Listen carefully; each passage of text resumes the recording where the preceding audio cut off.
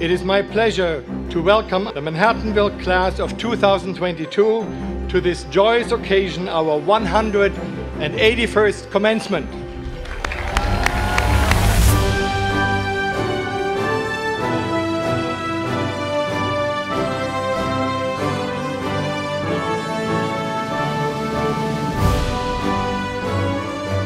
And you, each of you sitting here today, have certainly shown that to a valiant heart nothing is impossible.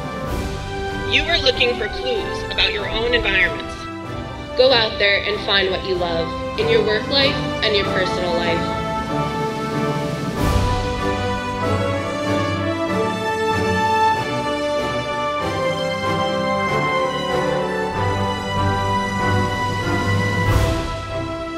Godspeed and congratulations.